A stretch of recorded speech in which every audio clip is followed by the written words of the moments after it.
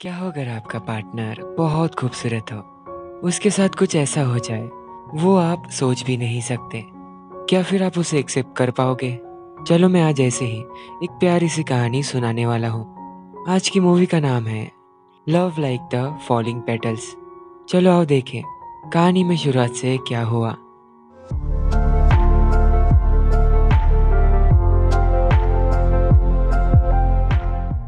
Movie की शुरुआत ही एक छोटे से ट्रेजेडी से हुई। हारूटो जो कि एक प्रोफेशनल फोटोग्राफर है, ऐसा ही उसने मिसाकी को बताया था। उसे मिसाकी के साथ अगले हफ़्ते घूमने जाना था। यही पूछते पूछते उसने अपनी गर्दन घुमाई, जिससे ये हुआ, उसका कान कट गया था। उस दिन वो बहुत रोई। छः महीने पहले हारूटो उससे पहली बार मिला। उसे अपने बालों को काटने के लिए सलून में जाना था। ऊपर से उसे मिला एक फ्री कूपन। उसी दिन पहली बार मिसाकी को देखकर उसके होश उड़ गए। हारुटो को उसने की हुई हेयर स्टाइल अच्छी लगी। ये सुनते ही उसके फेस पर एक खूबसूरत सी स्माइल आ गई थी। यही मुस्कुराहट हारुटो के मन में बस गई। इसके बाद हर महीने वो यहीं पर एक बार आता। ऐसे करते करते उसे एक दिन पता चला, मिसाकी सिंगल है। ये सुनकर उसकी खुशी का कोई ठिकाना नहीं था। फाइनली इस दिन वो उसे बाहर जाने के लिए कहने वाला था। एंड ये हो गया। उसने कहा तुम मुझे माफ़ कर दो। इसके लिए तुम जो कहोगे वो मैं करूँगी। बस मुझे माफ़ कर दो। हरोडो रिप्लाई में कहता है कुछ भी करोगी हम्म, क्या तुम मेरे साथ चेरी ब्लॉसम देखोगी? ये सुनकर थोड़ी देर के लिए उसके मुँह से कोई भी शब्द नहीं निकले। यही से असली कहानी की शुरुआत हुई। मिसाकी ने यही बात अपने भाई ताकाशी को बताई, जिसे सुनकर वो काफ़ी गुस्सा था। उसने ये तक कह दिया, अगर मुझे हारू तो देखा तो मैं उसका दूसरा भी कान काट डालूँगा। मैं आपको बता दूँ, उन दोनों के पेरेंट्स बचपन में ही गुजर गए थे, तब से ही ताकाशी मिसाकी का ध्यान रखता, बिल्कुल उसके मॉम डैड की तरह। उसकी गर्लफ्रेंड भी थी, अयानो। ये दोनों जल्दी ही शादी करने वाले हैं। बाकी सब लोग उन दोनों की अगली मुलाकात को डेट ही समझ रहे थे। वो कहती है, ये कोई डेट नहीं। जो मैंने किया, उसका कंपनसेशन है। सच में, आगे देखो। मिसा की काफ़ी ज़्यादा हार्डवर्किंग वुमेन थी। यही काम करते करते हारोटो ने उसे मैसेज किया। उसने डेट को ट्यूसडे पोस्टपोन कर दिया। वो उसे उस जगह फ़ोटोज़ खींचने में असिस्ट करेगी। ये पढ़कर हारोटो ने पहले माफ़ी मांगी। एक चीज़ के बारे में उसने झूठ कहा। ग्रेजुएशन के बाद वो टोक्यो आया अपने सपने को पूरा करने के लिए, जो कि था एक फोटोग्राफर बनना।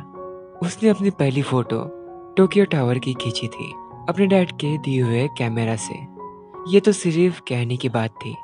जब उसे स्टूडियो में इंटर्नशिप मिली, वहाँ का काम उसे बिल्कुल भी नहीं होता, इसलिए उसने एक साल के अंदर ही जॉब को छोड़ दिया। उस जगह उसे ऐसे लगता जैसे उसके अंदर कोई भी टैलेंट नहीं है। इसके बाद हरटो ने कई सारे जॉब्स बदली, जैसे हम बैटरीज बदलते हैं ना वैसे। जिस दिन उसकी मिसाकी से मुलाकात हुई, उस दौरान हारुटो के मुँह से कुछ शब्द ही नहीं निकले, मिसाकी के मुस्कुराहट के सामने। ट्यूसडे को वो दोनों चेरी ब्लॉसम देखने आए। उसे जानना था, मिसाकी ने हेयर ड्रेसर ही बनना क्यों चुना। पहले उसके बाल करली हुआ करते। एक दिन अयोना उसे सलून लेकर गई, हेयर को स्ट्रेट करवाने। वो उसे किसी मैजिक की तरह ही लगा। वो खुद को ही पहचान नहीं पा रही थी। सेम सवाल मिसाकी ने उसे किया। हारुटो ने उसे अपनी सारी सच्चाई बताई, कैसे उसने अपने सपनों के ऊपर गिव अप कर दिया। ये सुनते उसका बर्ताव बदल ही गया। वो मारते मारते कह रही थी, तुम्हें क्या लगता है, मैं एक ऐसी इंसान हूँ? जो लोगों को उनके प्रोफेशन से जज करती है। तुमने कहा था फोटोग्राफर बनना ही तुम्हारा ड्रीम है। ये ऐसे कैसे तुम छोड़ सकते हो? तुम्हें अपने सपनों के लिए लड़ना चाहिए। उठाओ फिर से कैमरा आखिर में उसे एकदम से रियलाइज़ हुआ। शायद ये थोड़ा ज़्यादा हो गया। इसलिए वो ऐसे ही जाने लगी। हारुटो ने ज़ोर से उसे रोकते हुए कहा, मैं बदल कर दिखाऊँगा एक ऐसे पर्सन में जो मिसाकी को पसंद है। वो अपने सपनों पर कभी भी गिव अप नहीं करेगा। इस दिन के बाद से हारुटो का कोई भी कॉल या फिर मैसेज नहीं आया। एक जगह मिसा की लंच कर रही थी। उसने देखा चेरी ब्लॉसम के पेटल्स फॉल कर रहे। हरुटो ने उसे कॉल करके बताया। उसने फिर से स्टूडियो ज्वाइन कर लिया था। वो ये बात उसे बताना चाहता था। आखिर में उसने सोचा पेमेंट मिलने तक वो एक बात उसे नहीं बताएगा और आज उसे पेचेक मिल गया। उसे मिसाकी को डिनर पर लेकर जाना था। उसने हाँ कहते ही, आप देख सकते हो, वो दोनों कितने खुश थे। डिनर पर जाने से पहले, वो थोड़ा मेकओवर कर रही थी। हमने देखा, उसके बाल थोड़े ग्रेइश से हो गए थे, शायद ज़्यादा स्ट्रेस लेने की वजह से। उसने डिनर पर हार्टो ने अपने मेंटोर, कायोसुकी की तस्वीर दिखाई, जिनके साथ वो काम करता। इस बार वो पूरा बदल चुका था। उसने बताया कैमरा एक मैजिक टूल है। जब वो छोटा था तब, उसने पहली फ़ोटो खींची। उस दौरान उसे पता चला, कैमरा उन पलों को हमेशा के लिए कैद कर सकता है। ये बातें आपको सुनी हुई नहीं लग रही। वो मिसा की जैसे ही बात कर रहा था। हारुटो ने डरते हुए उसे गिफ्ट दिया। पिंक कलर का सीजर केस। वो कहता है आई थिंक ये तुम्हारा फेवरेट कलर होगा, क्योंकि तुम्हारी स्माइल बिल्कुल चेरी ब्लूम्स के फूल की जैसी है। हारुटो ने जो झूठ बोला था, वो एक दिन उस झूठ को ज़रूर सच करके दिखाएगा। उसे मिसाकी से प्यार करने के बाद ही रियलाइज़ हुआ कि वो अपने लाइफ के साथ क्या ही कर रहा। उसे अपने करियर को सीरियसली लेना पड़ेगा। वो चाहता है मिसाकी उसके साथ रहे, जब तक वो सक्सेसफुल नहीं बन जाता, तब तक। इसका जवाब देने के लिए उसके पास कुछ भी शब्द नहीं थे, सिवाय स्माइल के। स्टेशन पे वो उसे कुछ कहना चाहती थी। उससे पहले उसे अपनी लास्ट ट्रेन के लिए जल्दी से भागना पड़ा। वो कहती है मुझे भी तुमसे प्यार करना है। प्लीज़ मेरे बॉयफ्रेंड बन जाओ। घर पर जितनी वो खुश थी साथ साथ बाकी के लोग भी उस, उसके जितने ही खुश थे। स्टूडियो में युकी ने उससे कहा मिस्टर सवाय ज़्यादातर किसी के ऊपर भी चिल्लाते नहीं। तुम्हारे अंदर वो फोटोग्राफर का उन्हें पोटेंशियल दिखता है। इसी वजह से वो तुम्हें हर वक्त डांटते रहते। इस रात वो मिसाकी के साथ क्लब में गया। वो दोनों ऐसे ही हर दिन एक साथ कहीं ना कहीं जाकर टाइम स्पेंड करते और एक दूसरे के साथ ऑनलाइन बातें करते। इसलिए ही वो बहुत ज़्यादा करीब आ गए। उन दोनों को एक दूसरे की पसंद पता चली और बहुत कुछ। ऐसे ही एक दिन मिसाकी को फीवर हो गया था। ये सुनकर हारुटो अपना काम खत्म करके तुरंत उससे मिलने निकल गया। ये देख, वो जल्दी से रूम को साफ़ करने लगी। इसलिए कहते हैं, रूम को साफ़ रखा करो। घर पर पहुँचते, उन दोनों ने हारुटो को पहचान लिया। ये पता चलते, ताकाशी गुस्सा होकर ओवर प्रोटेक्टिव बिहेव कर रहे थे, उसकी छोटी बहन के लिए। अयानो ने उसे मार मार कर शांत किया। तकाशी कहता है, बिल्कुल बाउंड्री में रहना, नहीं तो मैं तुम्हारा दूसरा कान भी काट डालूँगा। इसलिए उसे रूम के बाहर से ही बात करनी पड़ी। उसे मिसाकी को असलियत में देखना था, बिना मेकअप के। उसने अपने हाथों से उसका मास्क निकाला और बस उसके मुँह से ये शब्द निकले, तुम बहुत खूबसूरत हो। हारूटो उसे किस करने बढ़ता ताकाशी ने उसे उठाकर बाहर निकाल दिया। रात को, पता नहीं कैसे, अचानक मिसाकी दर्द से तड़पने लगी। हॉस्पिटल में डॉक्टर ने उनसे कहा, उसे प्रोजीरॉइड सिंड्रोम है। वो ठीक से तो नहीं बता सकते, बिना उसके टेस्ट करे। लेकिन उन्हें उसके अंदर शुरुआती लक्षण दिख रहे हैं, जैसे बालों का ग्रे होना और सडन बॉडी में पेन। सीधे शब्दों में, उसकी बॉडी बाकी लोगों से ज़्यादा जल्दी एज करेगी। शायद वो एक साल के अंदर बुरी औरत दिख सकती है। ये सब टेस्ट के बाद ही उन्हें पता चलेगा। ताकाशी निशा की इन दोनों को बिल्कुल भी विश्वास नहीं हो रहा था। कि ऐसे भी बीमारी कोई एग्जिस्ट करती है। इस रात उसे रात भर नींद नहीं आई। इस फ़ोटो को देखकर, जिसमें एक लड़की छह महीने में पूरी बूढ़ी हो गई थी, अगले दिन मिसा के बिना अपनी चिंता करे किमोनो पहनकर हरोटो के साथ फायरवर्क्स देखने चली गई। बताओ, उनकी बुरी किस्मत। फायरवर्क शुरू होने से पहले ही बारिश शुरू हो गई थी। रात को वो कितना भी दिखाए कि वो खुश है। लेकिन उसके मन में अभी भी वही बातें चल रही थी। इसी दौरान हारुतो ने एकदम से उसे शादी के लिए पूछा। मिसाकी का कहना था, उसे दुनिया में उससे भी अच्छी कई सारी लड़कियाँ मिलेंगी। वैसे भी उन्हें तीन महीने ही हो चुके हैं, एक दूसरे को डेट करने में। वो कहता है, मुझे हमेशा तुम्हारे साथ ही रहना है। सोचने के लिए तुम अपना टाइम लो। वो और कुछ कहता, उससे पहले ही उसने उसे किस कर लिया।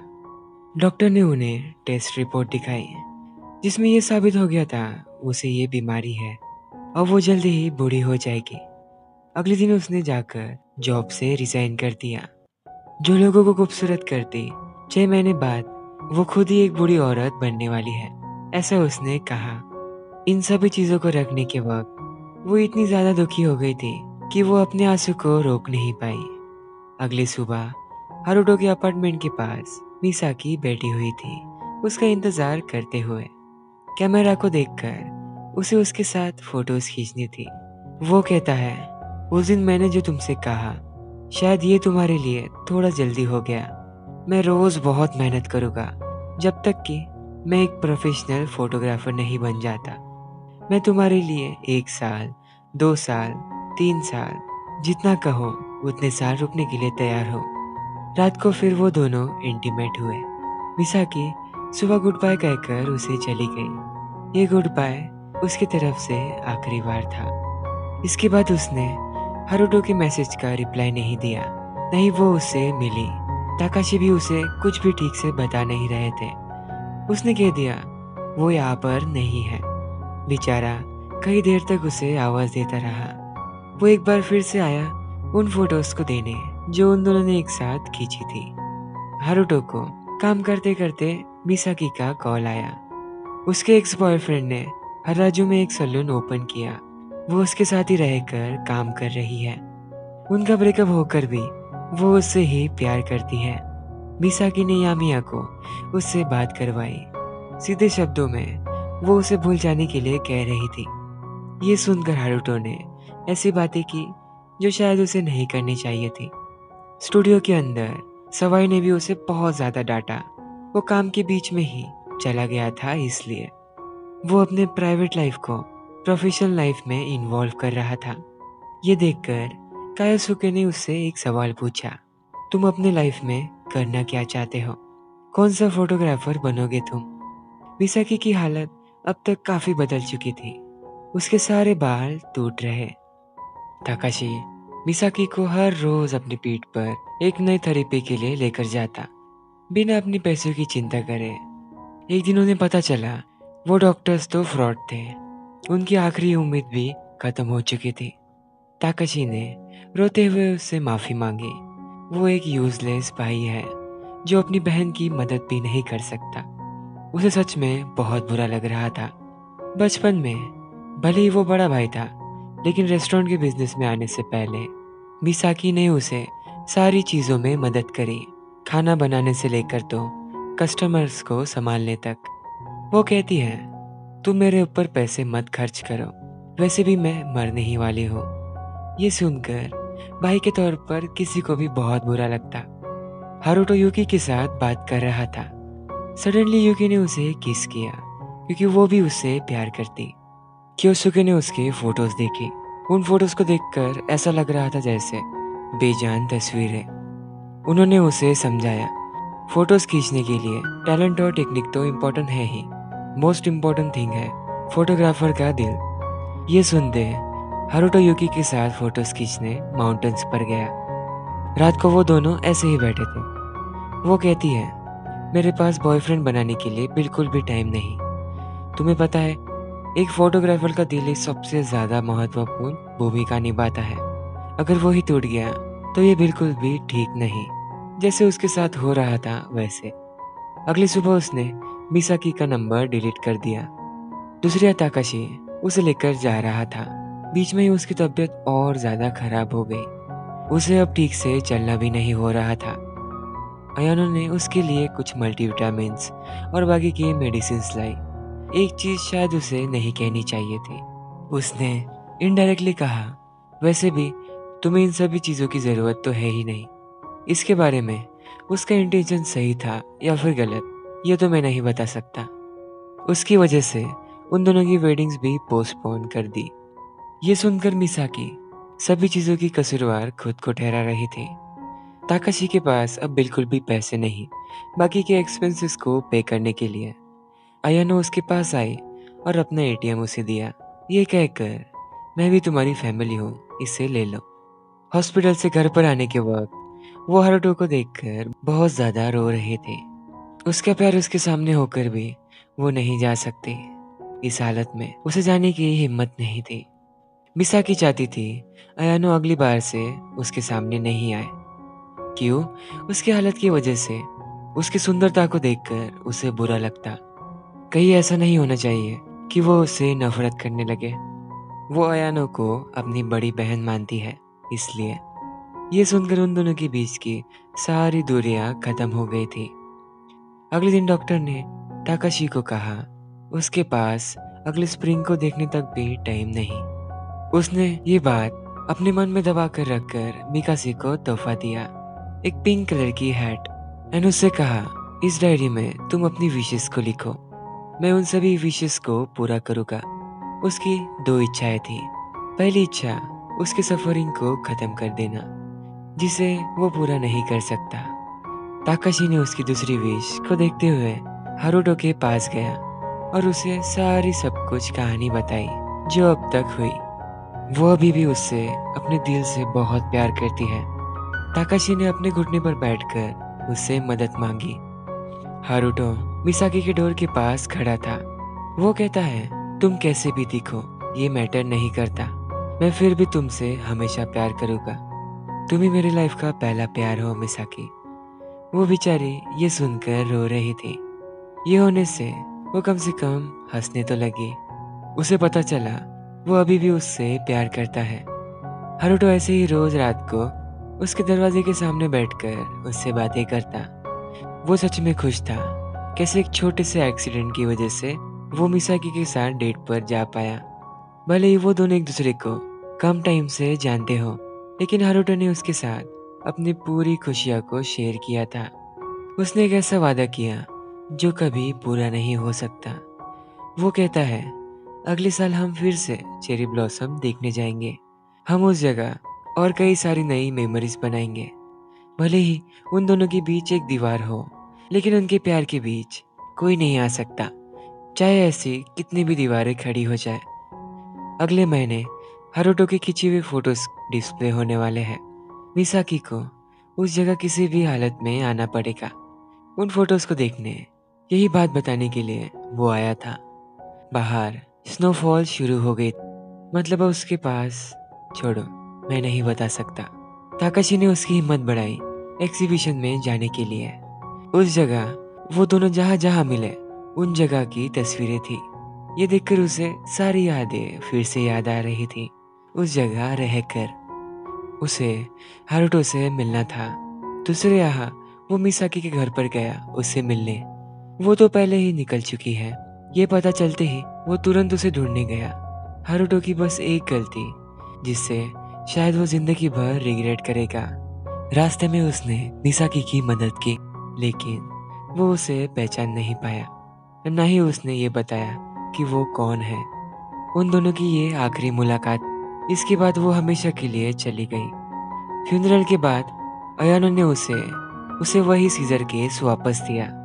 हारुटो ने जब उस हैट को देखा, जो उस ओल्ड लेडी ने पहना था, तब उसे रियलाइज़ हुआ, वो मिसाकी थी। उसके घर पर वो अपनी जान लेने वाला था। उससे पहले उसे मिसाकी का लेटर मिला।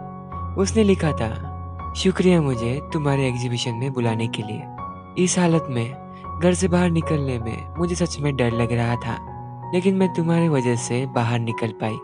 तुम्हारे फ़ोटोज़ सच में बहुत खूबसूरत थे। ऐसा लग रहा था जैसे हम फिर से उस पल में हैं। हारोटो, मुझे माफ़ करना। मुझे छोटी सी ज़िंदगी मिली है। मैं खुश हूँ कि तुम मुझसे प्यार करते हो।